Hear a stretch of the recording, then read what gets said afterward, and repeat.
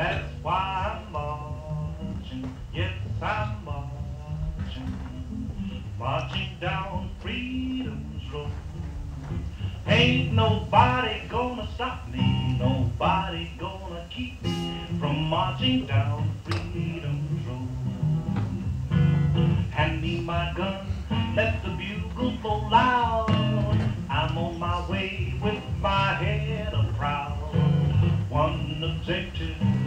I've got in view is to keep a hold of freedom for me and you. That's why I'm marching. Yes, I'm marching. Marching down freedom's road. Ain't nobody gonna stop me. Nobody gonna keep me from marching down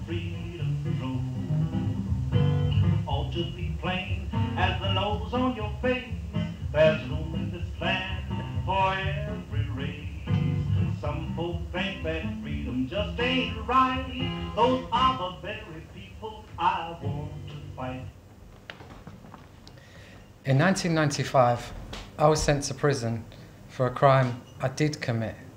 This is my story. It was a Friday night. I was at home with my mum Winnie. And my neighbour Aunt Eula.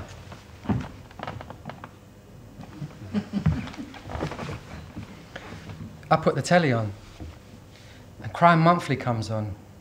And Crime Monthly is a programme which appeals for some of Britain's most wanted criminals.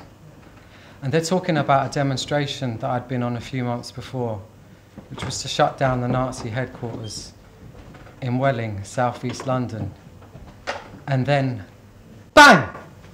There's a picture of me throwing bricks at riot police.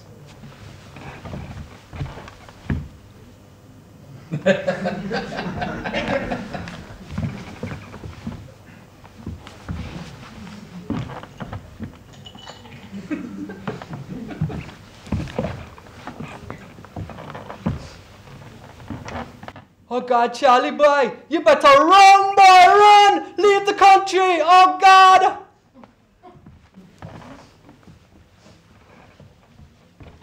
Oh Jesus, I told you not to go on that demonstration, but you never listened to your mother. Hail Mary, full of grace, the Lord is with thee. Blessed art thou, womb, Jesus. Holy Mary, Mother of God, pray for us sinners now and at the hour of his coming. Amen. I've spoken to Jesus, and you're not going to prison. Now go to sleep, and we'll talk about it in the morning.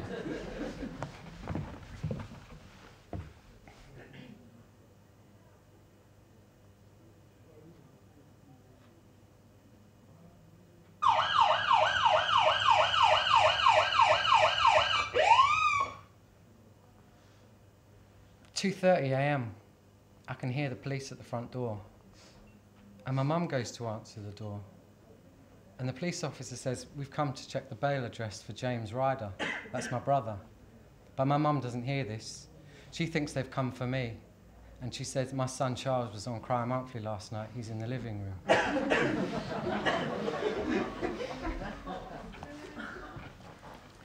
so this big, giant police officer comes into our little leprechaun house, takes his helmet off, ducks down, and says, you were on TV last night. You were shown on Crime Monthly being involved in a riot at Welling.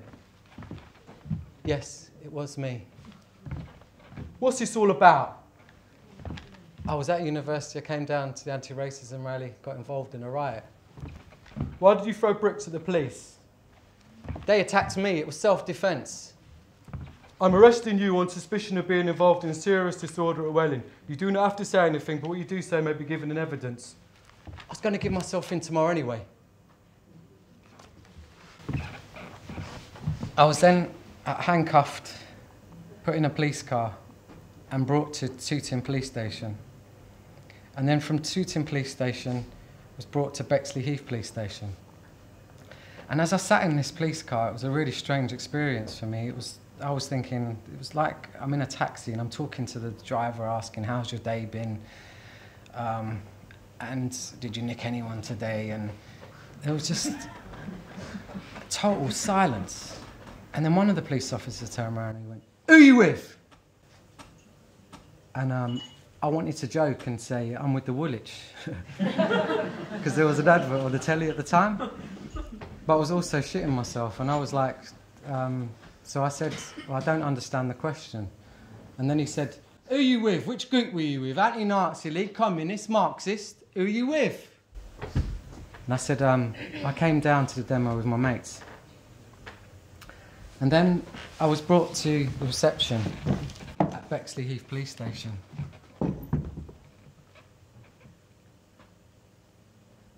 So, uh, what suspect number were you on Crime Monthly then, son? Suspect number three? Ha ha ha! We got suspect number three here from Crime Monthly, lads. He's a dirty scrote. You're looking at four years. I was then let out on bail, but things didn't get much easier for me living with an alcoholic father. You're a dirty, rotten thing. You're a dirty, rotten thing. You're a dirty, rotten thing. You're a dirty, rotten thing. You're a dirty, rotten thing. You're a dirty, rotten thing. You're a dirty, rotten thing. You're a dirty, rotten thing. You're a dirty, rotten thing. I curse the day you were born. I curse the day you were born. I curse the day you were born. I curse the day you were born. I curse the day you were born. I've forgotten more in a minute than you've learnt in a fucking lifetime. I've learnt more in a minute than you've learnt in a lifetime. I've learnt more in a minute than you've learnt in a fucking lifetime. Who are you calling a fucking alcoholic?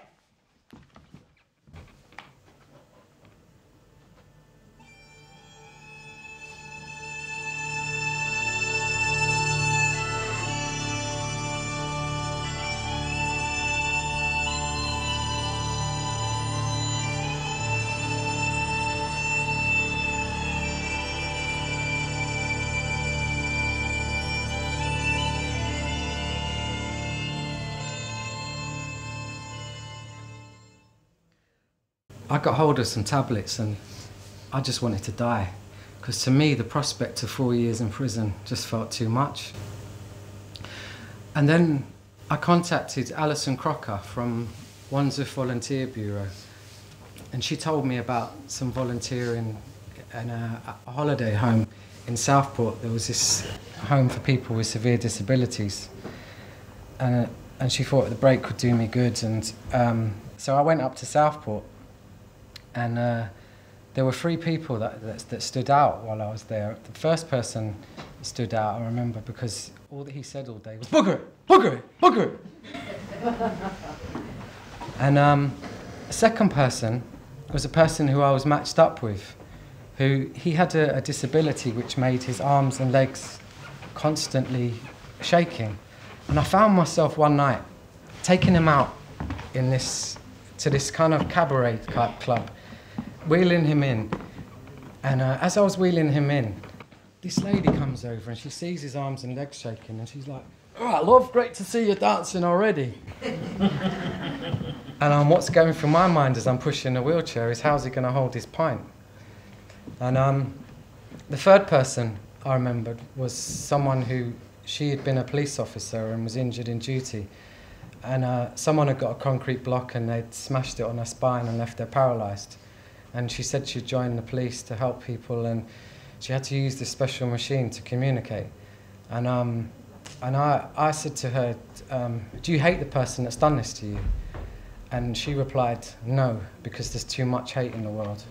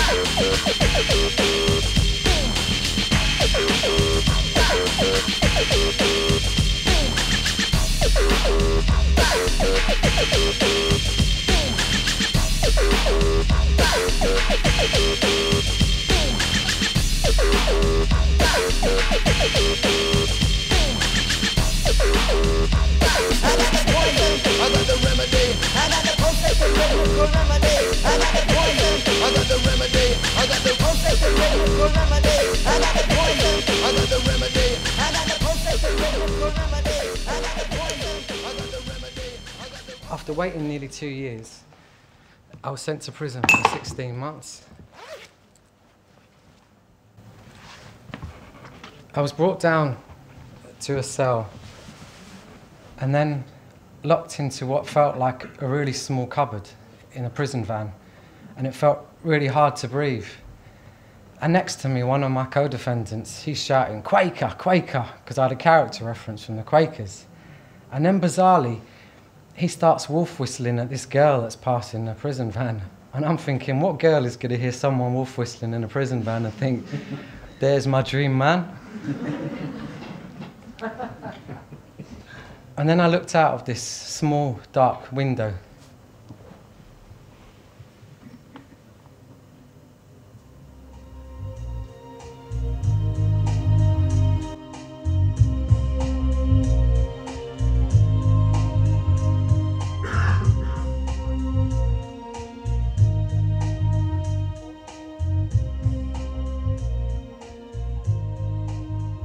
Thinking, where are they taking me?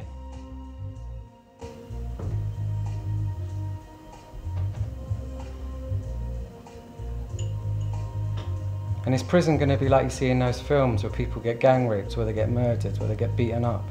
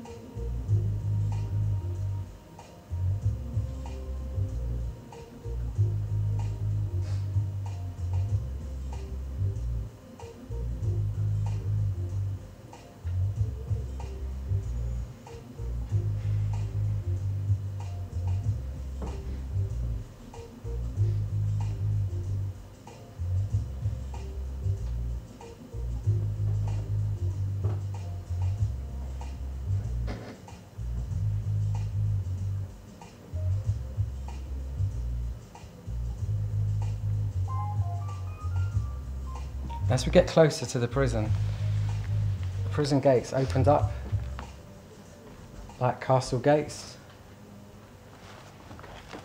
And waiting to lay down the law was the governor of the prison.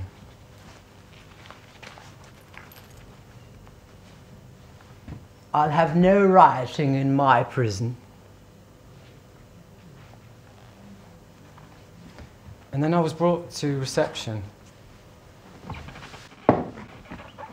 where I was fingerprinted, photographed,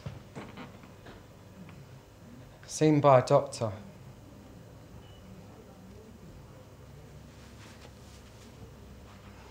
And then stripped.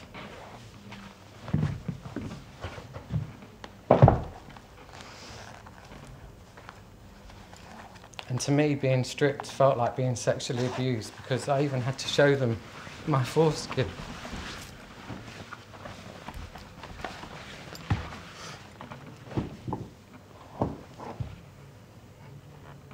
I was given some really smelly, dirty clothes to put on that hundreds of other prisoners, because they had lots of holes and they stunk.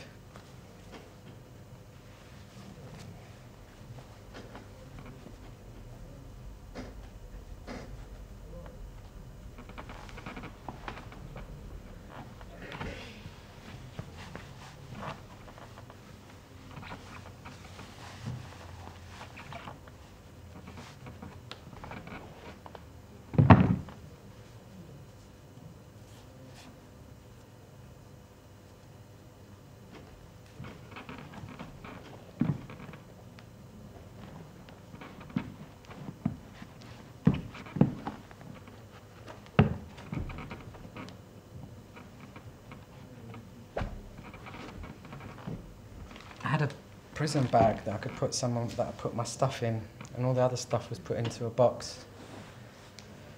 And then was brought out onto a wing. And being brought out onto the wing, for me, it was like you see in those films where you have the meshing along the top to stop people from committing suicide or from pushing people off. And then these heavy steel doors. And a prison officer had shouted that I was on the twos, and I didn't understand what twos meant. So I was looking on twos for these, on these cell doors. And then the prison officer shouted over, that's, that's the second level, you muppet. And as I was going up the stairs, I was thinking, what's the person that I'm going to be sharing a cell with? What are they going to be like? I was feeling really angry, and um, I actually wanted to, I wanted to hit, hurt someone, and um, I felt really angry, and, I'm, um, and then when I got to, to where the cell door, I went to knock on it, and the prison officer said, in there, you muppet.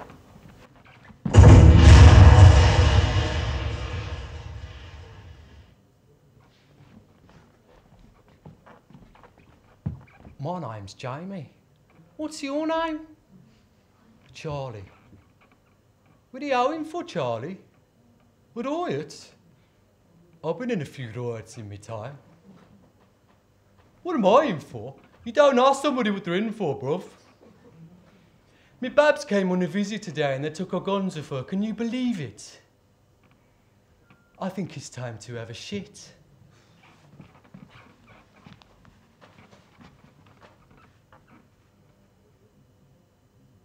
I know what you're thinking, Charlie. What's the gangster like me doing in a place like this?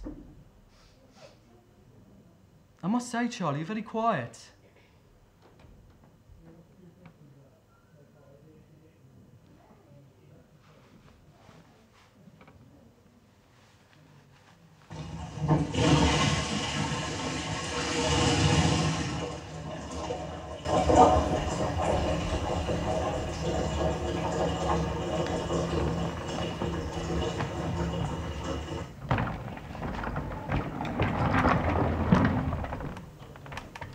After a week of Jamie's anal and verbal diarrhea, I asked to move cells, and I was moved in with um, one of one of my co-defendants, and um, he was a really, really good, good, good guy, but he had a, a drugs problem, and it, um, during visits, his wife, they would kiss and then pass drugs, which he would then want to shit out in the cell.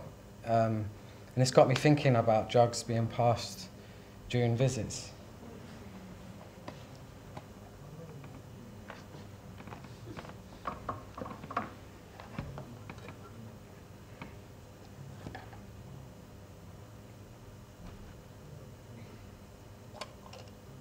Prisoner would be brought out first. Sometimes have to wait long periods of time. The wife would arrive. They would kiss, passionately pass drugs, and then argue for the rest of the visit.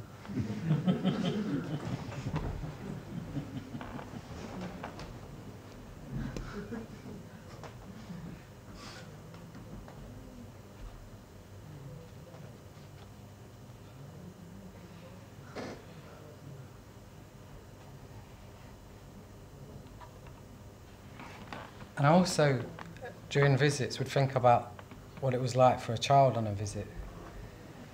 And I read a poem that where a child spelt out the words prison. And they wrote, P. People say bad things about me because of my dad. Ah, respect they don't because of my dad. I, it hurts when they say bad things about me because of my dad. S, silly dad for being naughty. Oh, on my birthday and Christmas, I really miss him. And then N, no, I don't want to be like my dad except for his heart. And then they'd written I, and then a love heart, very much my dad, around this, this poem. Um,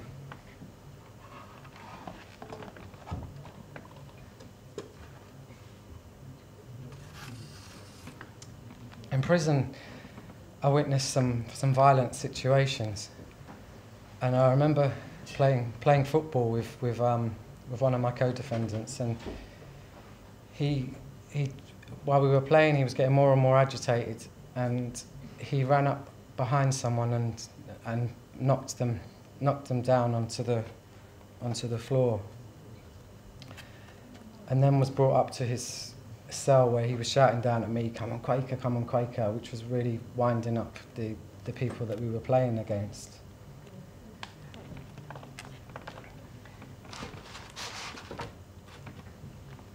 After a month at HMP Canterbury, I was moved to HMP Aldington. And I remember there was uh, being on a dorm with a, a, guy that had won six million on the lottery before he was sent to prison. And um, he, he, we saw, watched a documentary with him. And in the documentary, he's driving around with expensive cars and um, sort of prison talk about stuff to do with for example, when the person that they he was saying was his cleaner, he would say, well, she's not really a cleaner, she's a dealer, and trying to make himself sound more sort of street cred. But at the end, they said to him, are you worried about going to prison? And he said, no, I think all cons are all idiots.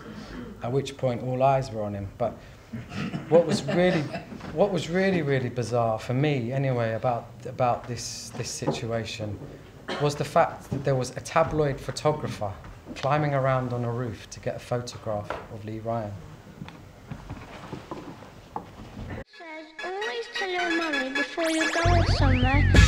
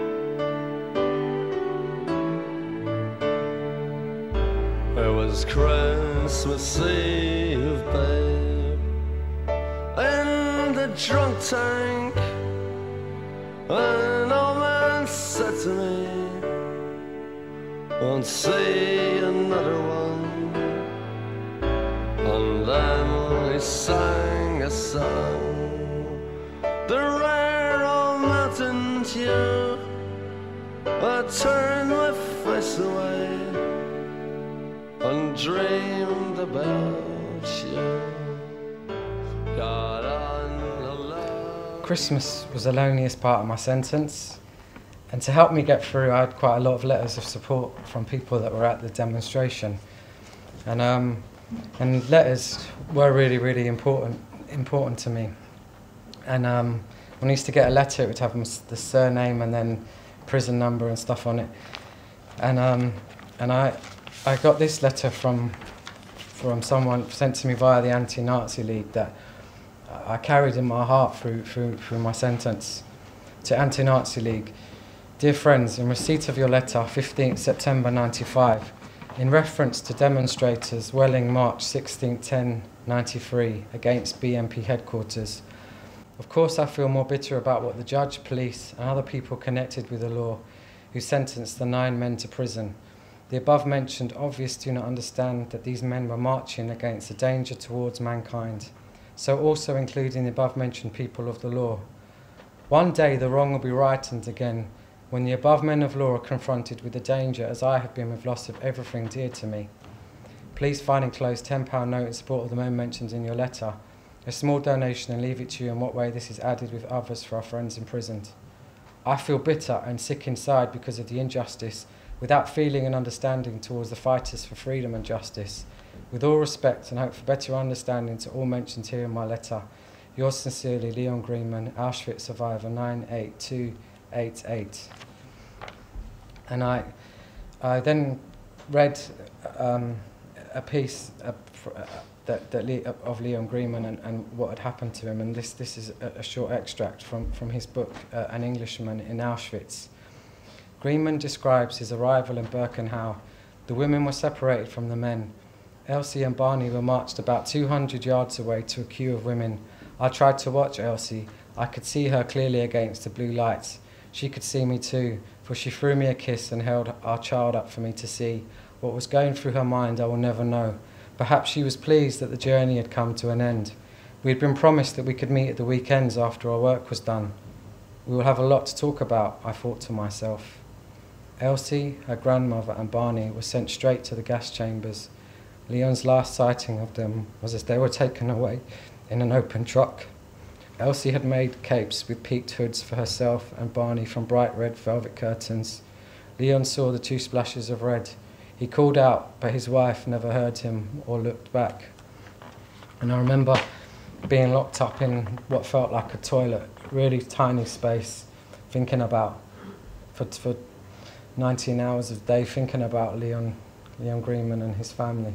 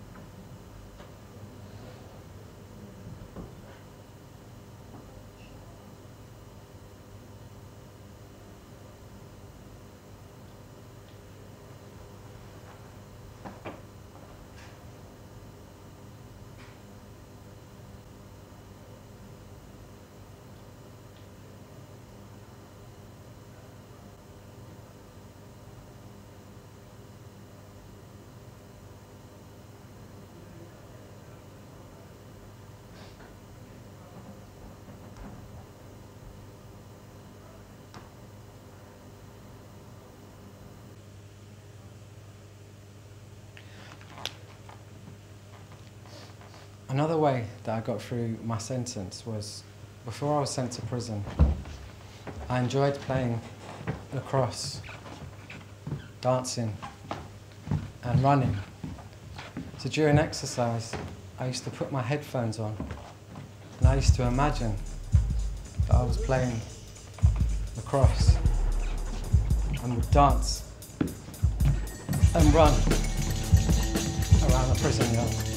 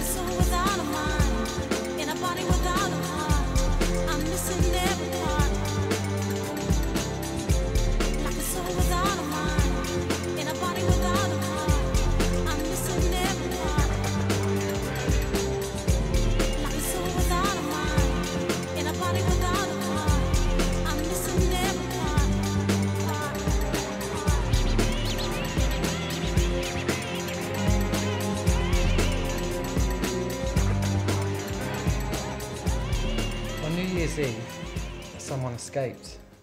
And what happened was that during exercise, this prisoner climbed up onto the roof. And while he was up on the roof, the uh, other prisoners made his bed out to look like he was still sleeping. So it meant that in the morning, prison officers came round a few times to check to see where he had got to. And while they were checking, he had escaped back to Belgium.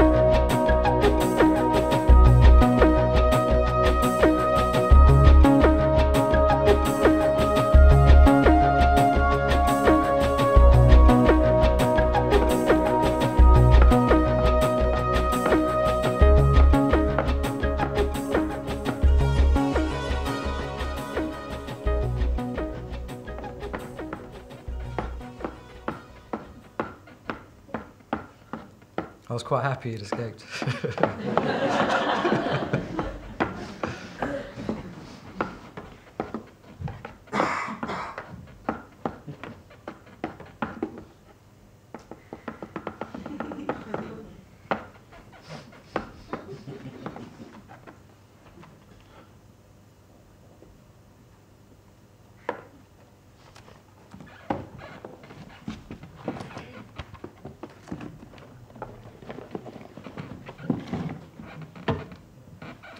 We had a table tennis competition, and I managed to get to the final of this table tennis competition. And everyone put in a in a chocolate bar, with the winner taking all the chocolate bars. And uh, I managed to get to the final of this this table tennis competition. And then this happened.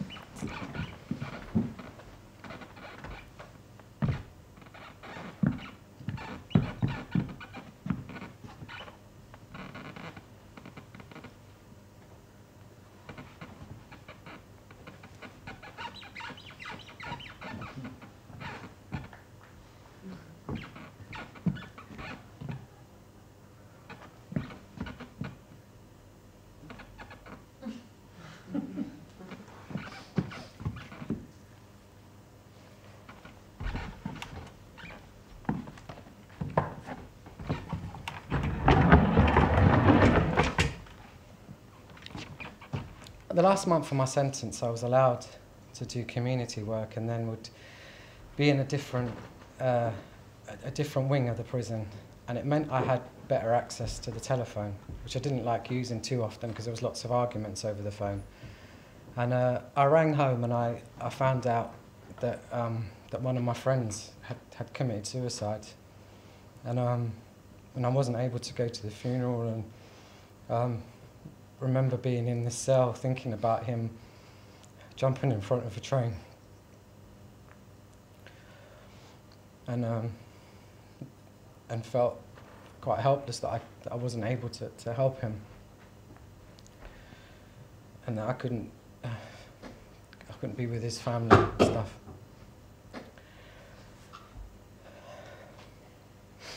And the same, the same week that I found out about my friends Jonathan, Ann Widdecombe, who was then the minister for prisons, came in, came into the prison.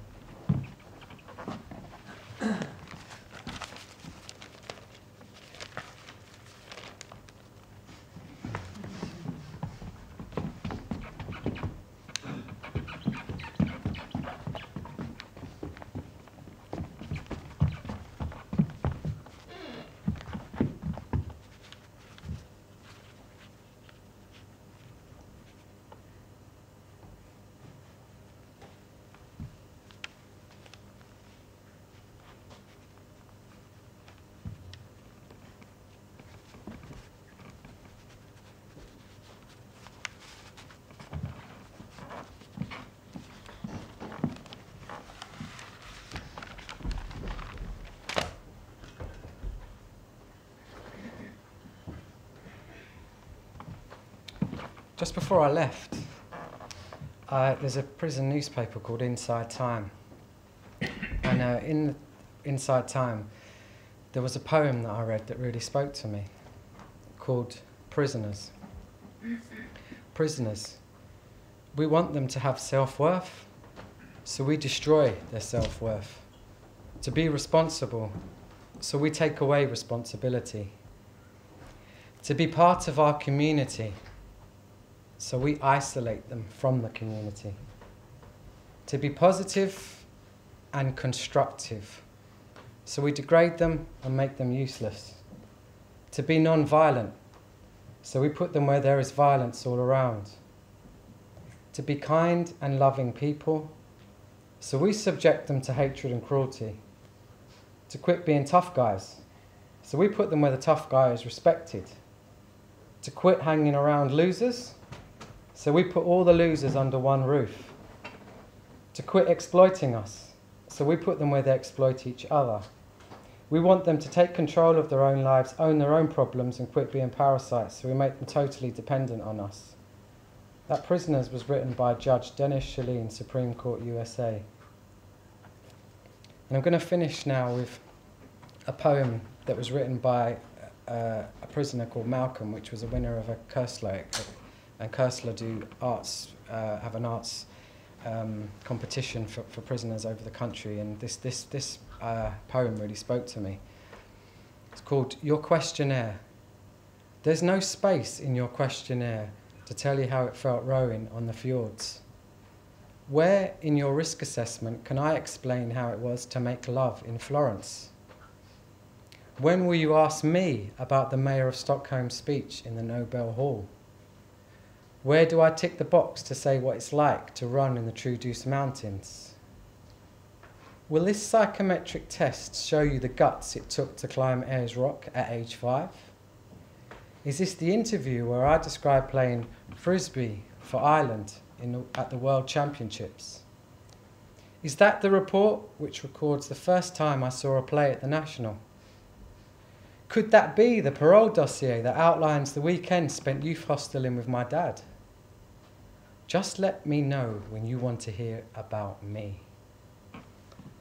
Thanks.